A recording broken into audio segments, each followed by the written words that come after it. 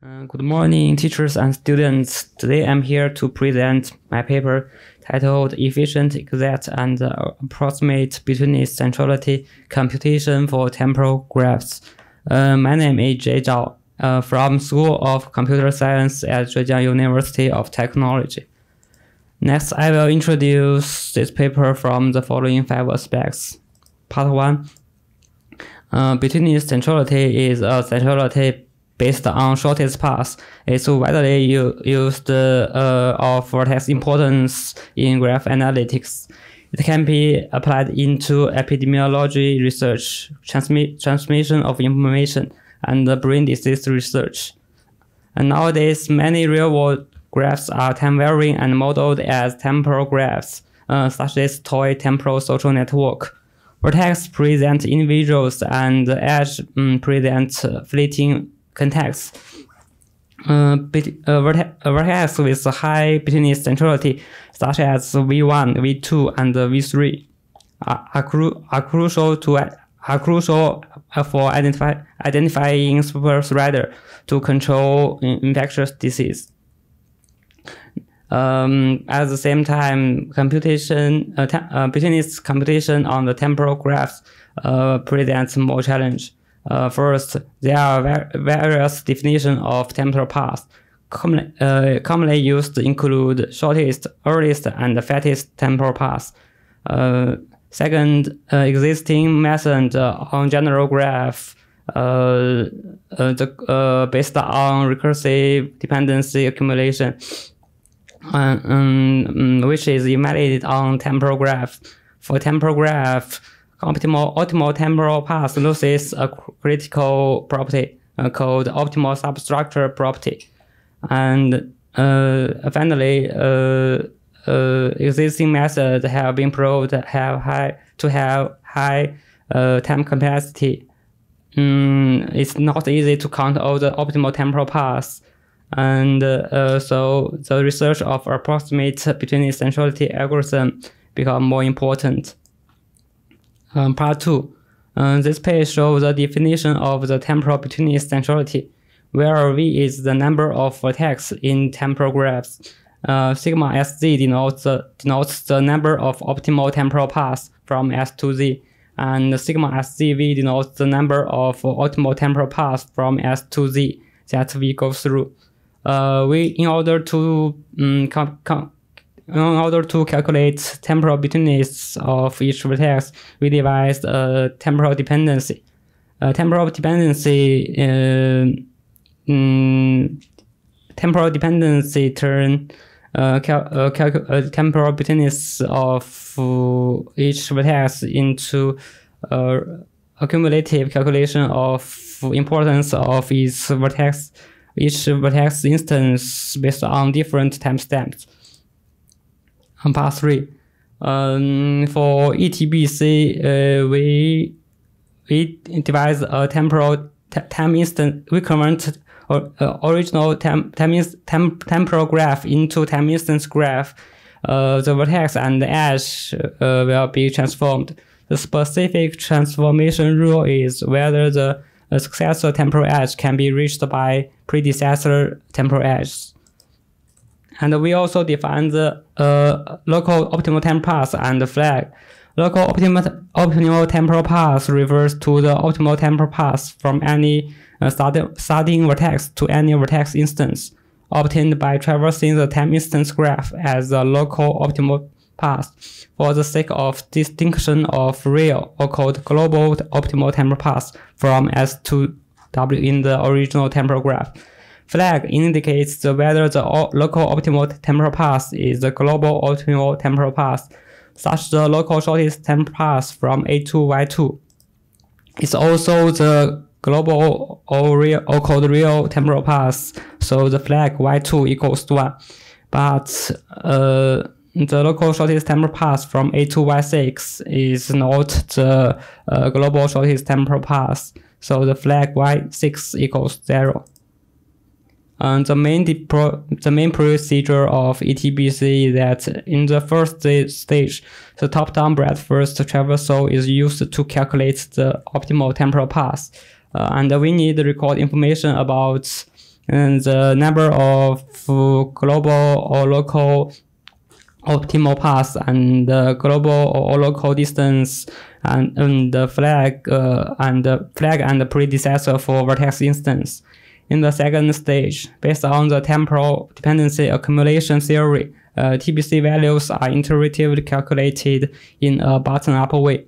Uh, the temporal dependency accumulation theory has been proved in this paper.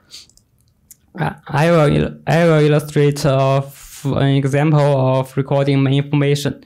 When the optimal distance equals to 1, uh, we can record information about B1, B3, and uh, X1.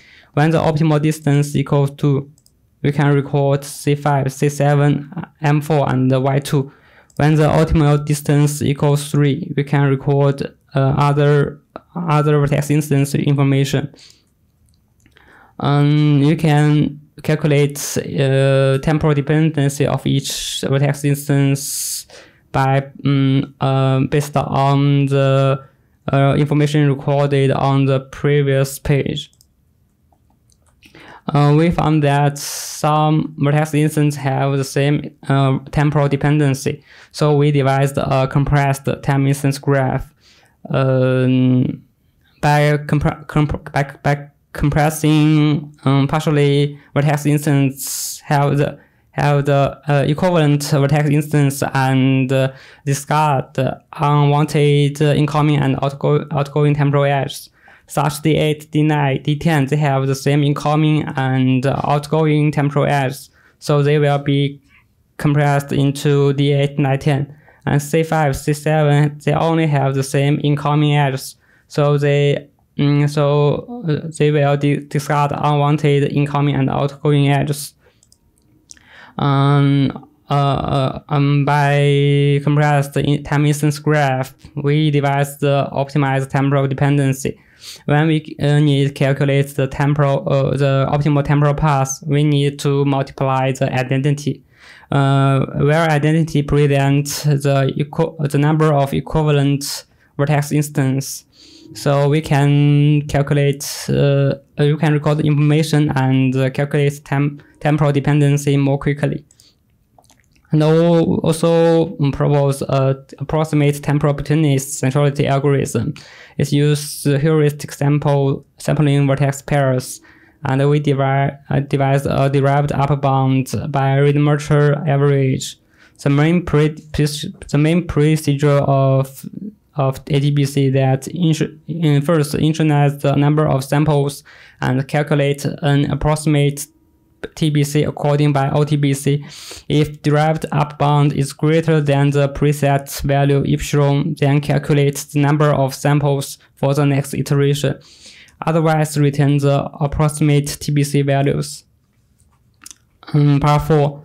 Uh, we use 13 datasets in on the experiment um, the table shows the number of tests and edge edge on the temporal graph, uh, temporal instance graph, and the compressed time instance graph.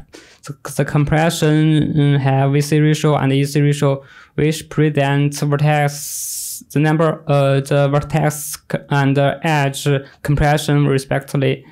First, we found that uh, time instance graph is from four to five or five times larger than that in the original temporal graph, and the number of edge in the comp and in the transformed time instance graph is from 6 to 651 times larger.